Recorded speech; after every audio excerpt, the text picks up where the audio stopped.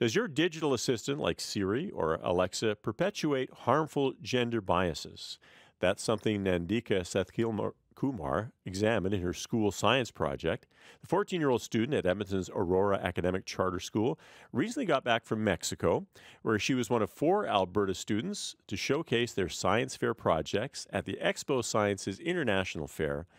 Good morning, Nandika. Good morning. Congratulations. Thank you. Thank you. Was that a fun trip? Yeah, it was pretty fun. okay, cool.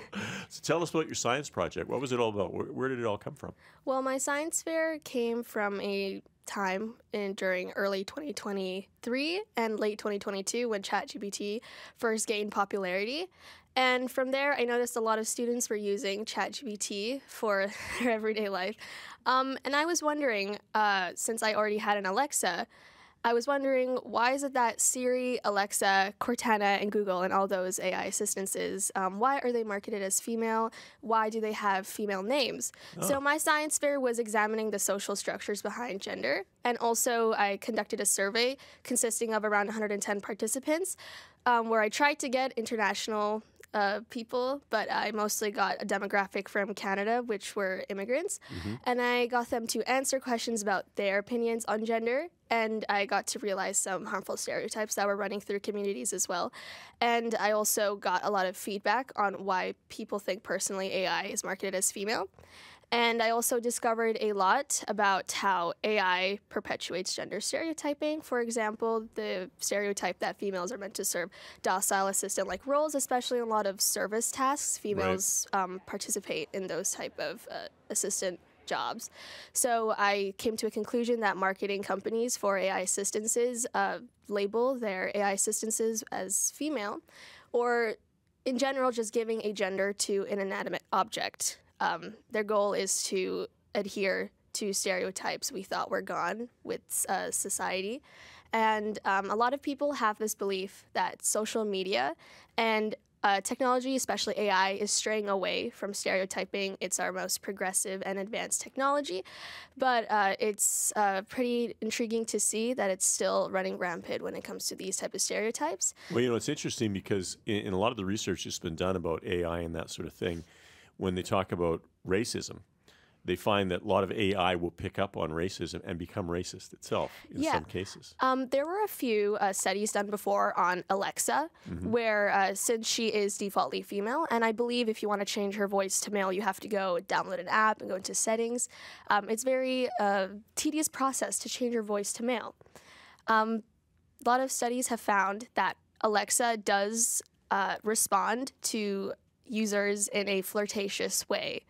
Um, I haven't really looked deep into that, but mm-hmm. I did see that when I was doing my research for the science fair in early 2023. So, what was the reaction you got from people when, when you presented these these findings? that, that's a good question, because um, in the Canada-wide science fair that happened in May, um, when people came around for the public viewing, and this happened in Edmonton, the mm-hmm. Canada Wide Science Fair. Right. So uh, when people were coming around, I got a lot of uh, responses that were like, "Oh, I never thought of that." Yeah. But there were a few occasional people who were trying to challenge the idea, came up to me and started debates, um, which was uh, pretty. Um, it was fun to debate with them. Right. Um, but it still um, it's interesting proved. to see that point of view, I guess. Yeah, it is interesting to see that point of view, and I really appreciated it. Um, seeing people who agreed with it, disagreed with it. Yeah. Um, actually, in my uh, questionnaire, I asked uh, a question saying, uh, "Are you willing to change your views based on scientific data?" Mm-hmm. And most people said no, which was very interesting to That's me. That's revealing. Yeah, that is revealing. What do you feel are the implications uh, of this kind of gender bias in AI? Uh, not just gender bias, but as you mentioned before, racism and yeah. things like that. Um, it can be very harmful because it subconsciously reintegrates these gender stereotypes into our everyday lives. And AI is like our latest technology right now. People are using it for getting around, uh, asking what the weather is, things like that.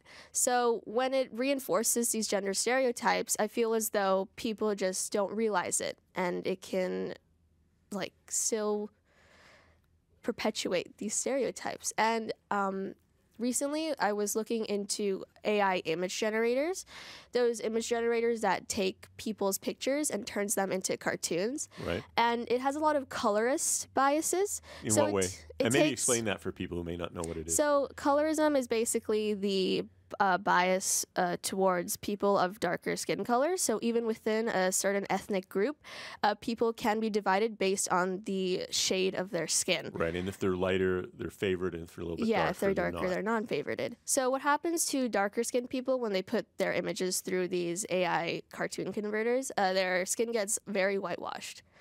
So, Wow. it doesn't support darker skins uh, for the most part.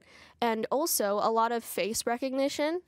Um, nowadays, uh, I know India is currently developing a really broad and like very big project for face recognition. Um, I know a lot of them around the world. It can't properly recognize darker skinned faces. Yes, we've So- done we've done some stories on that over the years about how how that has been the case. Yeah, I'm pretty sure India is trying to get around that problem. Like they're trying to fix it right now, but I don't think um, I haven't seen any news yet about it. So all of these um, biases, stereotypes in our technology can be very harmful to our everyday society. Is this something, this subject, something you'd like to pursue further, or do you see yourself expanding out further in your interest in science? Um, when it comes to science, I really, really like understanding how society works uh, just as a side curiosity. But when it comes to um, my career, I'd really like to uh, work with the mind, specifically neurobiology or psychiatry, one of those two things.